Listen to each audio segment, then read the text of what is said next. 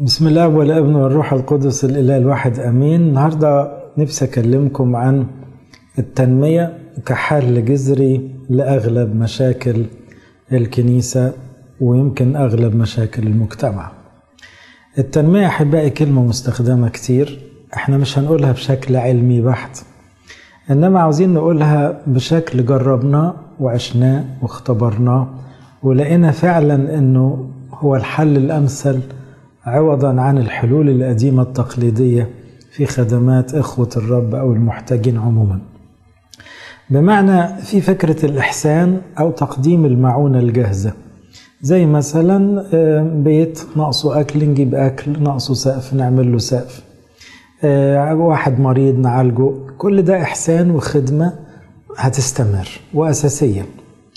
إنما خلي بالكم لما بنغدق في العطاء على بيت في شاب ما بيشتغلش إحنا بنقول له ما تشتغلش. أو لما بنهتم قوي بأسرة ونلبي كل احتياجاتها بيتسرب إلى ذهن الأسرة عموما حتى الطفل إنه يعيش عالة على الكنيسة أو عالة على المجتمع. يبقى في الوقت اللي أنا بعمل رحمة أنا ممكن أكون أذيت الشخص في تكوينه. ولغيت فكر كتابي أساسي من لا يريد أن يعمل فلا يأكل أيضا.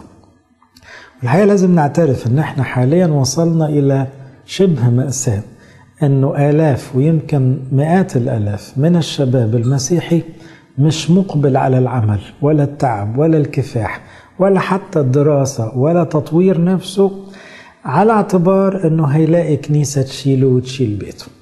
طبعا الفكر ده خطأ جدا وخطر جدا وإحنا كناس مسؤولين يعني في الكنائس عموما كهنة وخدام تسببنا فيه بدرجة بوازع الرحمة أغدقنا لكن يجوز بدون حكمة. فوصلنا الناس إلى مجتمع شبه متسول.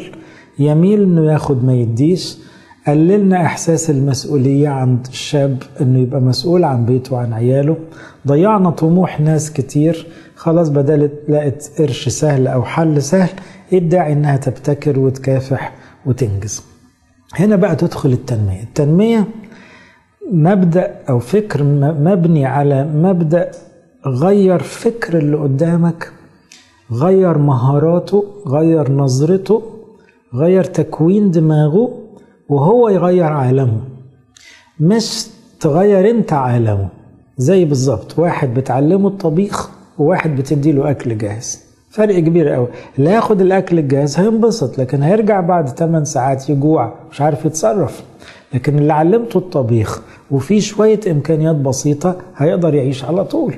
زي المبدأ اللي كلكم عارفينه وسمعتوه كتير اديني صنارة أحسن ما تجيب لي سمك. لأن السمك هتشبعني دلوقتي الصنارة ممكن بدل في بحر ممكن أعيش بيها طول العمر.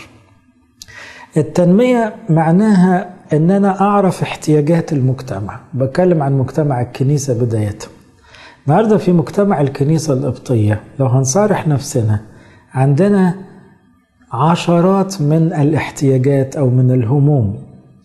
منها هم اسمه الأمية. عندي نسبة عالية في المجتمع المسيحي مش أقل من 30 40% من الأمهات الأميات. في القرى في النجوع في العشوائيات. إيه الخطورة؟ الخطورة إن الأم ما اتعلمتش غصب عنها. لكن كمان مش هتساعد عيالها في التعليم ويمكن ما تبقاش حريصة على تعليمهم. غالبا القصة مش قرايه وكتابة بس في نوع من الجهل اللي يخليها مش واعية. فما عندهاش وعي صحي. عيالها ممكن يموتوا من مرض كان ممكن تجنبه. ما عندهاش وعي وقائي عموما فممكن بنتها تمشي مشي ملخبط وهي مش دريانة. ما عندهاش وعي اجتماعي ممكن تفتح بيتها للجيران والمواضيع تلخبط خالص. ما عندهاش الوعي لأنها أمية. اذا الأمية مش مجرد واحدة مش بتقرأ وتكتب. موضوع أخطر من كده كتير قوي. الأم اللي مسؤولة عن عيلة لا عارفة تشجع جوزها ولا عارفة تشجع عيالها ولا عارفة تبقى قدوة حسنة مش عارفة تخدم في الكنيسة مش عارفة تنتج حاجة. هي أصبحت عالة حتى على أسرتها. بتجيب عيال بس. وبترضع بس ويمكن صحتها عدمانة. كل ده بسبب جهل الأم. إذا عندي احتياج اسمه أم تعيل ولكنها جاهلة للأسف. عندي احتياج تاني واضح في المجتمع. النهارده بس هحكي لكم عن الاحتياجات. لأن دراسة الاحتياجات هي اللي تخلينا نفكر مع بعض. طب نعمل إيه؟ وإحنا نشكر ربنا معانا مجموعة فكرت وعملت واشتغلت وده اللي هقوله لكم اللقاءات القادمة إن كل فكرة اتدرست واتعملت وأثبتت جدوى أثبتت فاعلية حقيقية. فاللي هياخد الكلام ويطبقه هو كلام متجرب ما هواش مجرد كلام نظري ولا كلام شكله كويس. احتياج آخر ضخم جدا إن عندي طفل أو طفل من سن زيرو من سن صفر أول ما اتولد لغاية سن خمس ست سنين. ما عندوش حضانة نموذجية مرمي في البيت. أحيانا يعامل زي معاملة الحيوانات. طبعا في المرحلة دي الخمس سنين الأولى دي في علوم التربية كلها دي أخطر خمس ست سنين.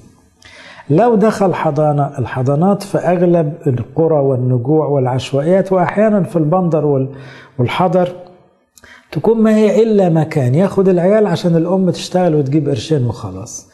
فبرضه إيه اللي بيحصل في المكان ده؟ مفيش حاجة. مجرد وقت بيتقضي. يجوز يهمل يجوز ياخد عدوى من الزملاء بتوعه يجوز يترمي كده في جنب يجوز يتعلم حاجات وحشة كمان.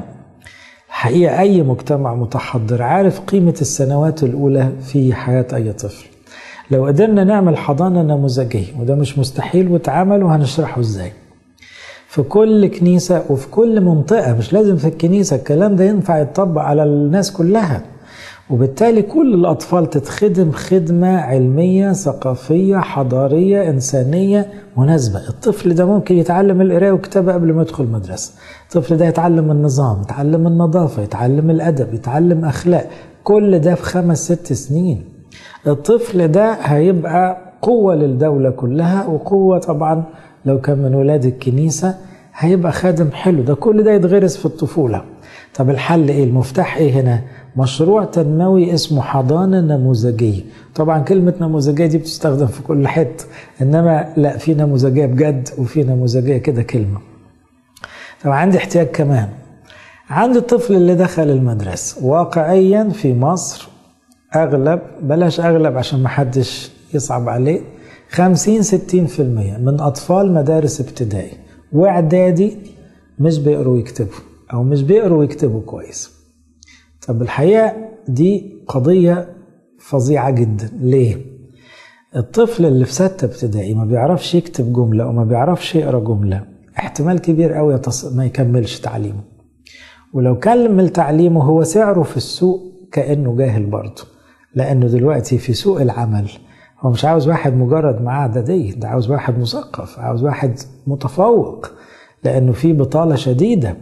وطبعا صاحب أي عمل عاوز شخص متميز مش عاوز واحد أي كلام وإلا اللي أي كلام هيديله فلوس أي كلام. طب إذا كان أنا عندي 60% من عيالي داخلين أعدادي ما بيعرفوش يقروا ويكتبوا. أنا عندي احتياج فظيع.